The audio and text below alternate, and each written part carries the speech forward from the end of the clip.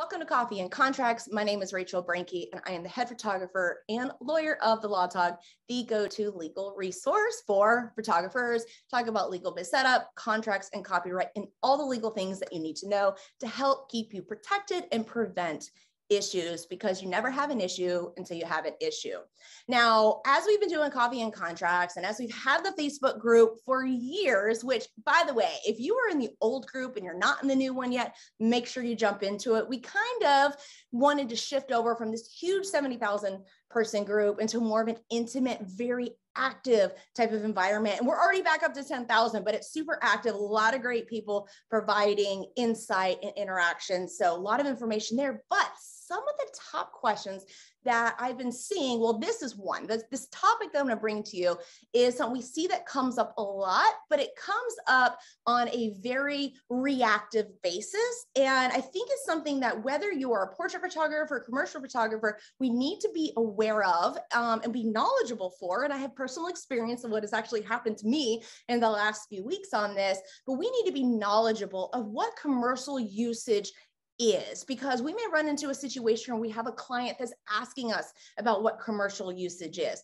or we may end up with a, a, third party or utilizing our photographs. We don't even know that party, and that's copyright infringement. Or we have a client that maybe we extended a print release to, and then all of a sudden they're doing commercial usage. And so I want to share a little bit about what commercial licensing is and the thing is and i and i have to apologize like you know i've been doing this so long the LawTog's been around for beyond 12 years. I use 12 because i remember i literally signed like the llc the week i was having my oldest daughter who just turned 12 um, but i have been doing some work with the LawTog prior to that and i understand i've been doing it so long that sometimes i forget that many of you are new or you just are new to the LawTog or you've just never heard me speak before. And so I, i'm trying to remember to approach approach this every single time that you may not necessarily know. If you do know, wonderful. This is a good refresher for you. Check the box, but there will always be little things that you can pick up on. I think that's one of the great things, little rabbit trail here. One of the great things about education, I'm this way anytime I go to a conference. I go into it going, I can learn at least one thing out of this whether it's what to do or what not to do. Because actually, in the very beginning, and even now, I still fight this. And I think sometimes as creatives, we have this whole like imposter syndrome, worried about, you know, negative feedback not being accepted. And I'm not talking about like qualifying a clients, but just in general as a human, I have always been paralyzed with fear of being an educator and always having someone walk away going, Well, I've heard that before. I didn't learn anything new. And it's, I actually always shake up all the things that I teach but I talk really fast and sometimes I just throw the nuggets in there and I don't really slow down. So I apologize if I'm using terminology that you not readily understand, like commercial use license. Like anytime I post in the LawTog group on Facebook about commercial, there's a lot of crickets and I can't figure out if it's uh, because commercial seems foreign or not really sure how to define, or we're just simply a portrait based group. But the reality is, especially with us being on the, the tail end of pandemic now, it's been over two years longest two years ever. Can I get an amen? And I've seen a lot of portrait photographers, even during, especially during pandemic, have to move into understanding what commercial licensing looks like in copyright ownership and how that kind of works. I know some of the key things, and I work, by the way. So I have the LawTog with contracts and education, which where you guys are now. Then I have my law firm that does all the individualized legal services, but I also do business consulting. And so I work with creatives and photographers on strategy. And I had many photographers that came when everything got shut down, like wedding photographers and uh, birth photographers and newborn photographers. Like, we can't go to houses, we can't go to hospitals, weddings are not happening. What do we do? And we had to look at this pivot of like this crossover into commercial licensing, but it was like deer in the headlights, like, because you're scared of what you don't know. And us as the business owners, as the leaders of our business, we want to be able to guide our clients, but we're not able to do that if we don't truly understand it, right? So, this is my encouragement to you that if you're sitting there and you're going, I have not even dabbled in commercial photography, I don't even know what that means. That's what I'm going to try to center here for you. If you're already doing commercial based type photography, feel free to, if you're on the live right now, to drop it into the, um, the chat box and I'll try to address a little bit of it, but I can't even express to you because let me give you a perfect example now I say perfect, and then I realize, wait, the example is going to be about me, but I didn't mean like me perfect. Just it's just a good example that has happened recently, right? So obviously you all know what I do and I don't hide that when I go to find a photographer and I I'm always looking for like family photographers and I like to try different styles, different types. I do branding, I do family photography. I've been looking for like a mommy and me with my dog type of session of photography, uh, which Bellamy again, why does he disappear every single time I get on here? I think he sees the ring light get on and he's like, I'm out because he knows he's not going to get attention. And he goes downstairs.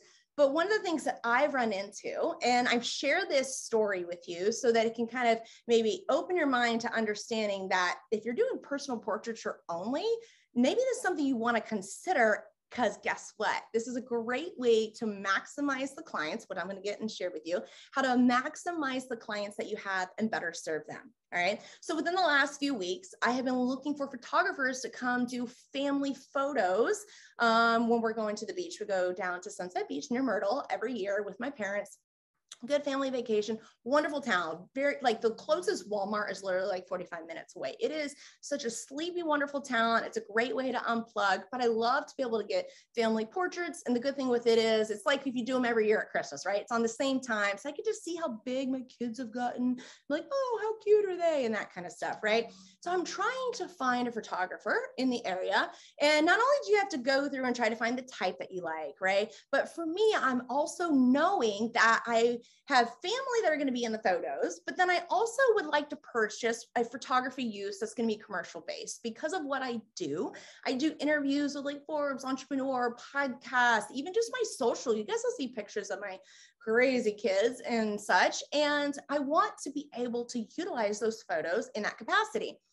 Many of your clients, if you're a portrait photographer, you probably have families who the individuals, one of the parents or one of the individuals in the photographs probably wants to utilize photos for business. So, where I'm getting at this is that I'm trying to approach photographers and say, I'm hiring you for family, but I know that family is typically a print release, which is a personal use license, right? So it's only for personal use. It's like sticking on my wall, putting the album on my coffee table, things like that. It's not to be used on like the LawTog social, rachelbrenke.com, on Rachel Brenke's YouTube. I don't know where that New York accent just came from, kind of Jersey. I've been watching a lot of Law and Order SVU and Carisi on there. It's a really strong accent. So maybe I'm picking that up because I'm actually from Texas. So I don't know where that little sound came out. But um, I digress. But I know for me that I'm going, not only as a leader, I feel like I need to say, hey, photographers, I want to be on the up and up here, right? I want to make sure you know that I'm going to use these photographs. Well, I want to, not that I'm going to just, I'm not saying I'm just going to do it. I would like to you to take family pictures. And it would be even great if you could also sell to me, because I'll pay for a license for me to be able to utilize it commercially. Now, this is where my apology, circling back, comes in. I use the term commercial, commercial, commercial. Technically, all of what we're doing is commercial photography. But when we're at the LawTog, and if you get on to look at contracts or you get in our group, we speak in a way that um, it's kind of in buckets, right? Portrait photography, then you've got wedding, newborn, maternity, mini session, all that sort of stuff. And then we have commercial photography. That's where you have the branding, influencer, social media use, real estate, product photography, uh, property photography, like warehouses, restaurants, anything like that, right? And I have a tendency, though, just to use the umbrella term of commercial. So I apologize for that. What I'm thinking in my mind is what the end usage that I'm going to want to end utilize the photographs, not just personal, my personal Facebook and all of that, but I want to put it on to social media. And for a couple of things. One, I want to do right by the photographers, right? And I'm a little different than most clients, right? Many aren't going to know what they want, or they're not going to know. And this is where you come in I'm pointing at you guys. This is what's so important and where you could do a cross sell and make more money out of one or just serve your clients more, even if you don't charge them more out of one session, right? Because what we end up seeing happening is, is that clients will come. They don't know the distinction between a print release and a commercial use license. They don't know the difference. Just like we often will hear from clients, well, I want all the rights. What does all the rights mean? And actually, as a segue here, have to share this. My mom, I love her. She's so, so creative. Like any creative bone I have completely came from her. And she has always been the most creative person. She does like the Cricut cuts. And so she's in all these groups where she does the sublimation, she makes cups and shirts and all this sort of stuff. So she's always asking me these questions. But I remember in the very beginning when she started doing this, she's like, oh, yeah, I just found the file online and I downloaded it. I'm like, mom, you're going to get sued. And then I'm going to have to defend you. And I don't have time for that. Not that I wouldn't do it because she gave me life and that's what I would do. But it just reminds me that our clients don't necessarily know the difference, right, between rights. And so she come they come over for dinner every tuesday because they take my kids to cub scouts because my mom leads the cub scouts. Told you like super creative does all the things. And so i cook and then she also has me teach her about copyright so uh, but i think it's important because it just reminds me and rem, you know to reminder to all of you that our clients don't necessarily know. So when they come and say i want all the rights the question is what do you mean all the rights? Right? And if they say i want to use this for commercial use, what kind of commercial use, right? Because that could range the gamut from simply putting it on the LawTog social media all the way up to me putting a billboard in Times Square on New Year's Eve, right? And that's going to have a big licensing difference. Actually, and, and you know what? I need to take a time out here. Sometimes I forget when I am talking that I'm giving business advisement and legal advisement. I sometimes don't parse between the two. And just what I teach doesn't mean you have to blindly adopt it. I throw all this out for you, for you to take and to kind of think about and see how you can put it into your business. Now, I do think it's kind of a non negotiable that we understand the difference between print release, what those usages are, and what like a commercial license, commercial usage is going to be, right? Again, personal coffee table in the home, not coffee table at a brokerage, that kind of difference, right? And well, maybe. And so that is almost a non negotiable. Then we also need to understand the difference between copyright ownership and all of these licenses. So copyright ownership is that we own, that is the mechanism for us to own the photography. And by default in the US, we own all of this photography and our visual assets unless we contract it away, right? Or we end up, um, we are employed by somebody. It's in the course of our employment. And but for the most of us, we are you're here because you own your own business. And so you're by default going to have the copyright ownership. So if you're retaining copyright ownership, that is where you go and decide, okay, print release or commercial usage. Now, back around to my example here, maybe you're photographing family sessions and you know that the mom is, um, one of the moms is a real estate agent. One of a perfect way is to sit down and talk, educate, talk and serve your clients by asking them what is the end goal with these photographs? Not only should you be asking that so you can determine if they want wall art if they want phys- physical albums if they only want digital files and being able to start teasing and setting up all that sales but it allows you to start understanding what the licensing if you're not going to convey ownership of, of the copyright away and what the licensing that you're going to want to sell. By default, most of us for portraiture and the way that we do it the Talk in the essentials bundles. Remember, this is the level one, the very basic of what everyone has or should have photography services contract, which is by type, your print release, and then your model release. So typically we're only really looking at selling a print release and then accompanied products if you do products but again if you have someone that's in the photographs that you know owns a business, there is a great way to cross sell. For example, going back to my beach example, and I apologize if one of you are watching and you're one of the inquiries that I made, which I did over the weekend because it was like the only real time I had to do it in between working on taxes. And I'm like, commercial use, commercial use. And like, even my team was like, what are you doing to these people? They're not responding. And I said, oh, because I'm not really being specific about like what the usage is, right? So that is what I want to equip you all with. You know, once you determine print release, commercial usage, or print release for them to use for their personal usage, and then look at selling, serving a commercial use license, which you could charge additional for to your client. It's a fantastic way FYI, if you're like, I can't stick around and watch this, or I want a little bit more, in Get Legit or online education, I have an entire commercial licensing course where I talk a bit more about this exact type of cross marketing where you can sell an additional license from one session because why not make double for the one, one amount of time of work, right? And, or you don't even have to charge more at all if you don't want to. That's completely up to you. But like in my situation, what I was saying earlier, I'm always transparent about what I do and who I am, even if they never heard from me or heard of me. And because not only do I want to be able to allow the photographer to lead and either say, yes, I want to offer a commercial license or no. And just because I say no doesn't necessarily mean I would go elsewhere. Just for me, I would love to be able to utilize those photos because I do a lot of interviews on balancing family and business and they want pictures of family, right? And I would rather showcase y'all's work than my, you know, like cell phone pictures because my cameras hardly ever leave for my own family stuff. And um, oh, the second thing on that is too, I don't just want to go into it purchasing, and this often what happens with clients, not as often as a third party infringing, uh, but go into it with a client and selling a, you know, me getting a personal print release. And then all of a sudden I'm giving it to Forbes with my interview and the client, I'm sorry, the photographer is upset at me, the client, they're upset at Forbes. They send a demand letter to Forbes for copyright infringement. They send a demand letter to me because I didn't have the requisite rights to give. And then it makes me look bad. It's like it's a whole circle, right? So be on the up and up. But the thing about it is, and what I want to really, really strongly encourage here is it doesn't have to be scary just really digging into what type of license, personal, commercial, or both, and then what are the usages that the client wants to utilize it for. Now, we have all this at the LawTog, obviously, shameless plug, um, and we are beefing up more of our commercial section very more specifically for you guys, especially branding headshots and all of that sort of stuff, because that's majorly on the uprise, especially with the boom of online business that happened during pandemic. But most businesses know they have to have online visual assets and incredibly important to have it in writing.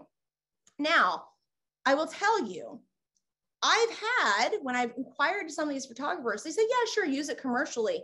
Then use it. Yeah, go ahead, use it. I could then use it however I want. But what if that's not what you, the photographer, intended as me, the client, right? We don't, we want to be as clear as possible because it sets expectations, it prevents issues, it allows you to make more money and provide customer service as the photographer. And it's something to point to if there's ever a legal issue. So just strongly, strongly encourage that you look at doing this because, and I know I've said this probably like 15 times now, but it's because I often, I've reached out to some photographers and again, I'm not shaming if you're in here, this is just a good little nudge recommendation.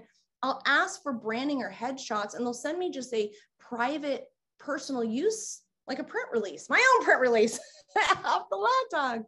And I'm going, I can't use this. And they're like, why? And I'm like, here's some links to the LawTog. Like, you know what I mean? Like we we just you, we as the business owners, as the photographers, need to take control to be able to educate our clients. Now, I also talked a bit about this on previous coffee and contracts and in the LawTog group that it's not uncommon, depending on the type of commercial photography. Keep in mind that commercial is the overarching umbrella. Like you say candy, and then there's gum, chocolate, whatever else, right? So commercial is the overarching umbrella. Then we've got all these different types pricing is going to differ upon the usage and the, the type of commercial photography. Um, and also how you approach it is going to be completely different. Um, and, and I guess I kind of jumped the gun on this a little bit as I should have shared really what all like the big types that I'm contemplating. I've kind of thrown a little bit of them out there, branding, headshots, influencer, OnlyFans, um, real estate for the real estate agent just for listings, real estate and brokerage for general marketing, uh, local uh, restaurants and um, doctors' offices, lawyers' offices that want photographs of just the facility for their website, right? So, like website usage and such like that. So, photographs of the facility. So, you've got property photography. There's product photography, which is one, if there's an area, if you are looking for a little bit more revenue, this is something that we saw in pandemic that worked so incredibly well with the photographers that came and were like, we're not shooting, I need help. There's so many people that have online shops that do not have solid photography that you could you could do it from the comfort of your own home. Have them ship the products to you. You photograph them you ship the products back or you arrange somehow to keep the products as part of compensation it is incredible it is something that you can add on to now obviously i'm not sitting here and saying oh you're a portrait photographer you can go out and do all of these like real estate photography man cats off to many of you. The intricacies of that is so incredibly important, right? I think one of the most next logical steps from like portrait photography would be getting into like headshots and branding type of stuff, just because it is, it's really almost relatively the same depending on style, whether you're doing on location or in studio, just actual like old school type headshots from here up uh, that'd be a good way to dip your toe in. But all the, you can just look at these different types and see how you can extend to offer this maybe as another revenue stream of your business or directly to the clients that are coming to you for who are wanting this. And I'm not, if you're someone that's like, oh, I'm too overwhelmed, I don't even know where to go with this, that's okay. I just encourage you to do a little reading so that when or if you get the inquiry, you're prepared when or if an infringement happens simply in any i'm telling you friends so many infringements by people that are our clients or entities that are our clients that they go out the scope of the license like the example of me photographing for a family and the mom's a realtor and all of a sudden her photographs are being used on a billboard or mailers for her brokerage uh, that was a potential sales opportunity. That was a potential education opportunity. Oftentimes, it's just lack of education of clients. Obviously, this sort of licensing stuff isn't really going to help us preventive wise for unrelated third parties who infringe, which is really the bulk of infringement that we're seeing a lot of. But equipping yourself with this knowledge will help if and when copyright infringement happens. When copyright infringement happens, when it happens by major corporations, because they don't give a damn, um, you'll be you won't be freaking out because that is probably our number one question in the LawTog after in the LawTog group on facebook after the depositor retainer question for contracts is about um, what do i do? Someone is utilizing my photographs and they did not have permission and it, it, will help you to not freak out. I mean, I'd still be pissed. I'm with you. I get pissed for y'all when I have to do when I do that kind of work. Uh, but it help you to understand because when we look at an infringement situation, we actually go right back to what you would have licensed that for. That is where we start. Let's say that ABC Candy Company fill your photograph or two or three and put it in ads on Facebook.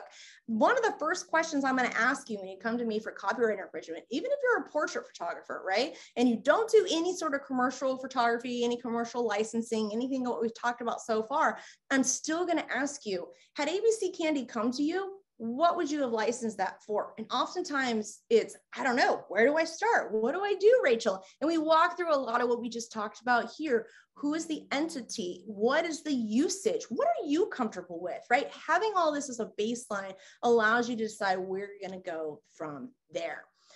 So you can see it kind of like through little branches here off of this commercial licensing chat we know we've got the potential copyright infringement by unrelated third parties being equipped with the knowledge. We've got scope creep outside of a print, re print release or even outside a regular commercial license, license with your client, uh, but also this idea of being able to offer a commercial license of one of your client's requests or for you to sell it to them as like a cross sell during that session um, or maybe an additional revenue stream you can see how just being equipped with the knowledge of what commercial licensing is the type you'd be interested in the usage the standards for that different type would really help you to be able to maximize your photography now, one example, I've shared this before on other things, and I talked about this more extensively in Get Legit.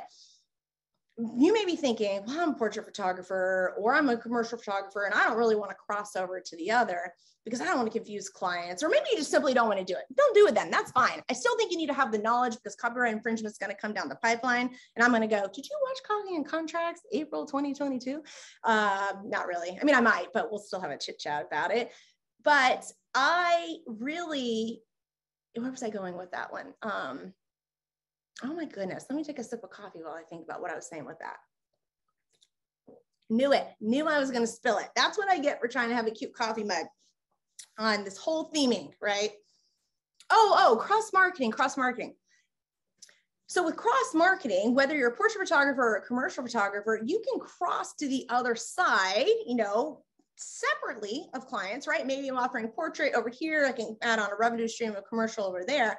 One thing that I like to do when I have the time and capacity to provide, I only, this is the way that my business model is now, and it's evolved over the years. You can utilize this if you want, or you can take bits and pieces of it. Because I do so much with the LawTog, my law firm, my business consulting, that my photography is included. Now it's all commercial based, and or what my offerings are. So my frontward facing offerings are only to business consulting clients, right? So I'll do commercial photography for them. However, when it comes time, so far I've been talking about, you know, all the licensing out of one session. However, I still can upsell another session going from commercial to portrait. So in June, I may photograph for my real estate agent friend Danny uh, for his flyers, but I also know that he has a new wife and stepkids and they're going to need pictures in the fall. I'm more than happy to reach out cross market because I put them on my email list. I have the permissions. I'm following the CAN Spam Act. I already know how they work. They know me and they know my work.